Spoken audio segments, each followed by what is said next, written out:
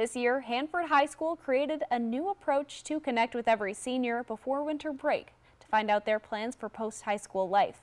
The Falcon Flight Planning brings in people from the district and the school to share information that helps students navigate the options they're considering. I went to Hanford High School campus Friday to hear about the event that's all about the seniors.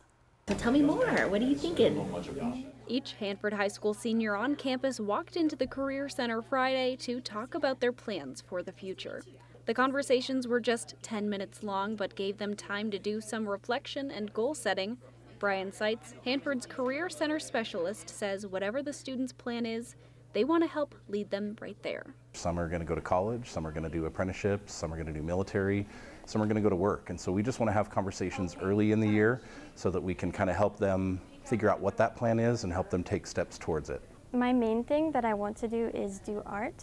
So I was mostly trying to get information on um, how to get started in like the art field, whether it's like a specific school I should go to or like apprenticeship. If the students have an interest in college, the military, trades, or the workforce, those mentors were there to have those conversations, answer questions, and point students in the direction of additional resources.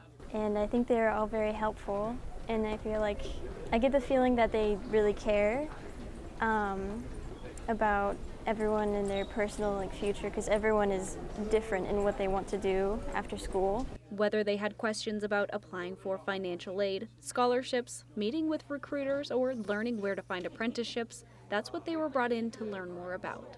I plan to pursue mechanical engineering uh, somewhere in the Pacific Northwest. So let's talk engineering for a bit, shall we? Okay. Some students might not know where to go about FAFSA or scholarship information or how to start those conversations. I learned a lot about the resources I can grab for grabbing scholarships and, and the financial aid in FAFSA and WASFA. Regardless of their plans or how far along they were in the process, the Career Center wants to be there to make sure everyone is ready. Uh, but yeah, every senior, we just want to be sure we kind of don't let anyone fall between the cracks and we, we have a conversation about their future with them. I think it's a great opportunity for them to learn a lot about um, what they can do for their future.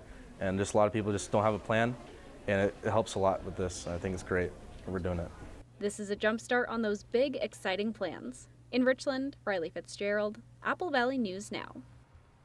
Because this is the first year this program is happening, the students were able to give feedback on what they thought about the Falcon flight planning process and how it can improve in its second year.